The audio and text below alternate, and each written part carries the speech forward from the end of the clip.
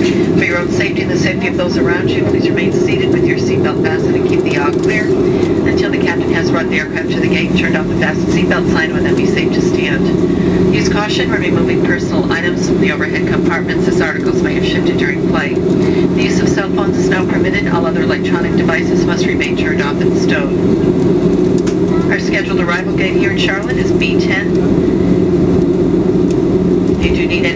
Need any other connecting gate and flight information, there are television monitors inside the terminal building. On behalf of U.S. Airways, a member of the Star Alliance Network, it certainly has been our pleasure serving you this morning. We look forward to seeing you again on a future flight. Thank you good day.